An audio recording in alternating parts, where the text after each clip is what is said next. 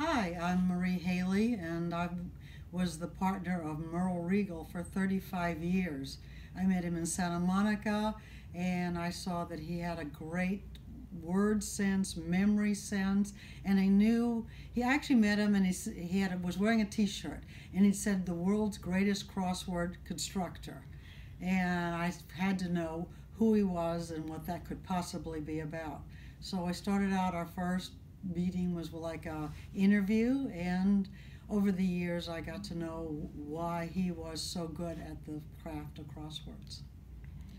Um, he, he made a lot of crosswords that were full of puns, wordplay. He sort of set a new standard for just enjoying uh, solving puzzles.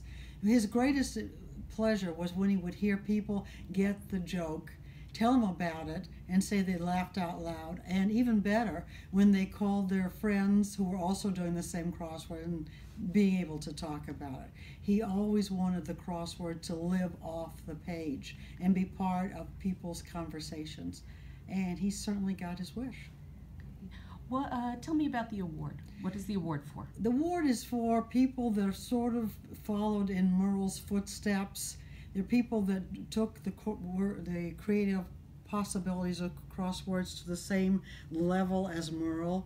They, they dedicated a lot of their time. This is a Lifetime Achievement Award. It's not for just one crossword, it's for a lifetime of craft in the field. Exploring all the possibilities of extending the field, making the language that we all share have a life and a life even off the page. Okay, who's the winner this year?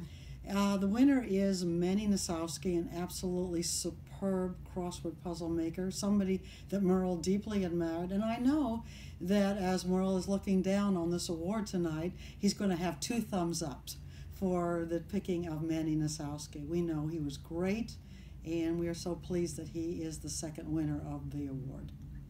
Who, who made the snow globe? Snow Globe was made in Omaha, Nebraska by a man who makes all sorts of globes, even for celebrities.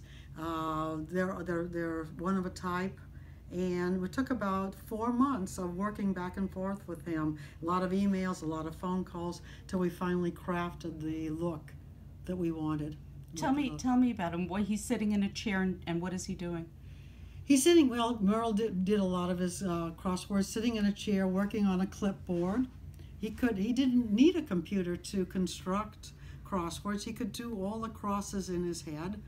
Uh, he was, uh, even as a young child, he liked to sit in a big, old-fashioned armchair with a big dictionary at his on his on his uh, lap and books piled up next to him. So you're basically seeing him in the type of environment he was the most comfortable in to, for thinking, for making puzzles, for uh, pouring, pouring himself through crossword or dictionaries.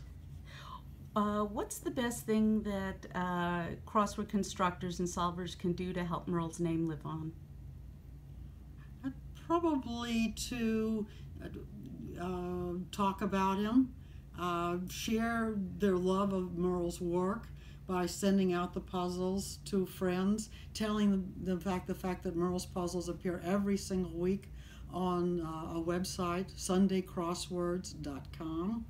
Uh, Merl's still in uh, 35 newspapers across the country, so he's available in uh, newspapers. And there isn't a day practically that goes by that somebody isn't asking uh, for Merl's work and talking about how much they miss having him every single Sunday to work through his puzzles and to have him and his mind in their mind. Thank